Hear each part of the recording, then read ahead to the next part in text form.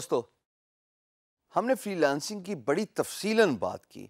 हमने यहाँ तक देखा कि फ्रीलांसर कौन होता है और कौन हो सकता है। फ्रीलांसर को स्टार्ट करने के लिए कहाँ जाना पड़ेगा?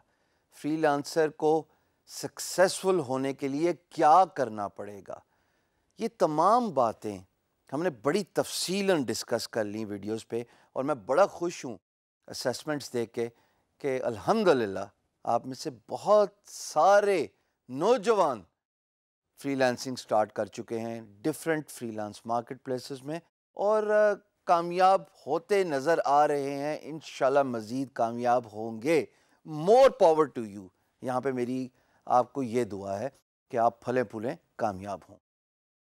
फ्रीलांसिंग खाली डिजिटल फ्रीलांसिंग नहीं होती। आपको मैंने जैसे पहले बताया था कि एक स्टैट्स है, अमेरिका में चौवन मिलियन अमरीकी फ्रीलांसिंग करते हैं। अब ये जो चौवन मिलियन अमरीकी फ्रीलांसिंग करते हैं, देखिए ये सारे डिजिटल या ऑनलाइन फ्रीलांसर्स नहीं हैं। इनमें बहुत सारे वो लोग भी हैं जो फ्रीलांस बेस्ड बिज़नेस करते हैं। तो सवाल ये पैदा होता है कि फ्रीलांसिंग और फ्रीलांस बेस्ड बिज़नेस दोनों बातों में फ़र्क क्या है?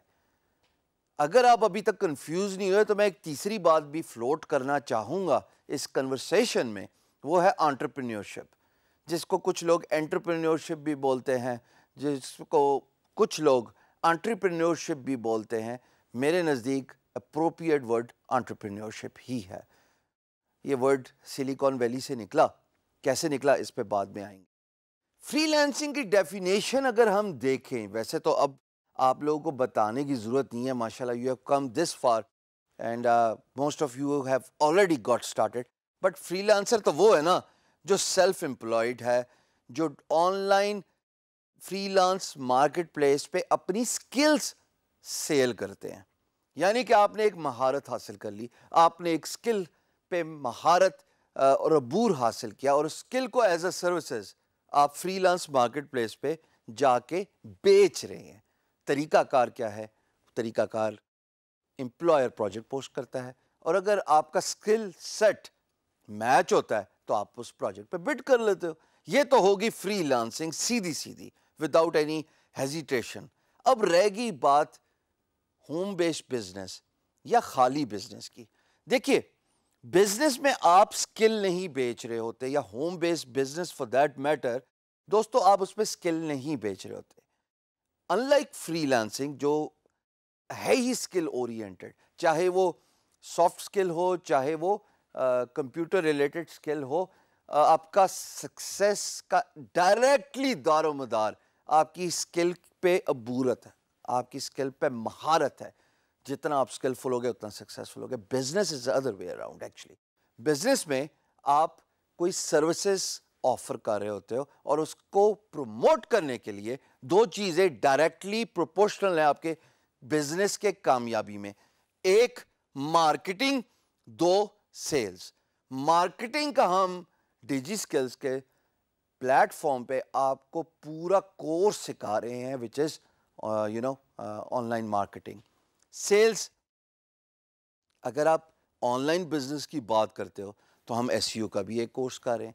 सो एक्चुअली बिज़नेस के कामयाब होने में दो बातों का बहुत दारोमदार है। एक आप उस बिज़नेस या अपने कारोबार की मार्केटिंग कैसे करते हैं? बिकॉज़ अगर आप मार्केटिंग करोगे तो आपके कारोबार की सेल्स भी होगी। सो so, बिज़नेस का जो सक्सेस का दारोमदार है, वो एक्चुअली अदर वे अराउंड है। स्किल नहीं इन्वॉल्व सर्विसेज़ इन्वॉल्व हो सकती है प्रोडक्ट इन्वॉल्व हो सकती है। होम बेस्ड बिज़नेस की मैं एग्जांपल देता हूँ। इंटरनेट रेवोल्यूशन एज में उनचास फ़ीसद हमारी population according to the census last year खातन की है। अब वो उनचास फ़ीसद में से कुछ इंटरनेट बिज़नेस में अपना नाम इस्टेब्लिश कर रही हैं।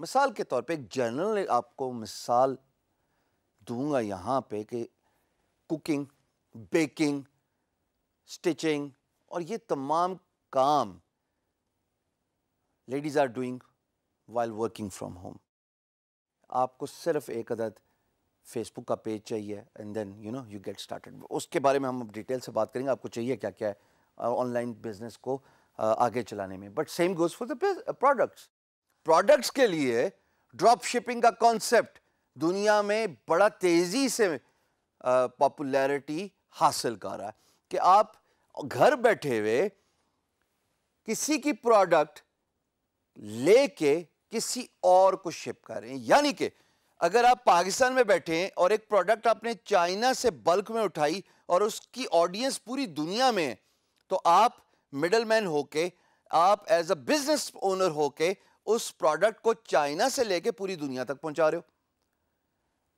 इसको कहते हैं ऑनलाइन बिज़नेस और ये बिल्कुल फ़र्क हो गया फ्रीलांसिंग से। मैंने आपको स्टार्ट में बात की थी कि अगर मैं थोड़ा सा और वजाहत कर लूँ तो एक और टर्म है जिसको कहते हैं ऑन्टरप्रीनियोरशिप देखिए ऑन्टरप्रीनियोरशिप फ्रीलांसिंग से भी फ़र्क होगी और ऑन्टरप्रीनियोरशिप बिज़नेस से भी फ़र्क हो गया।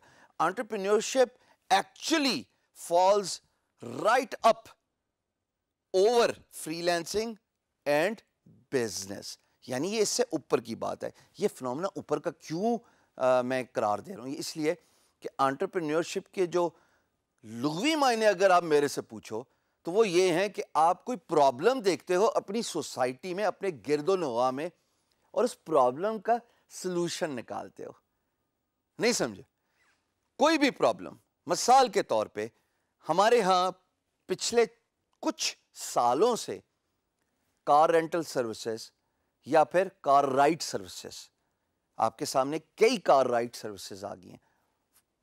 जब कॉन्सेप्ट ने पॉपुलैरिटी गेन की तो कार राइडिंग से निकल के हम रक्षा राइड पे भी चले गए, हम बाइक राइड पे भी चले गए।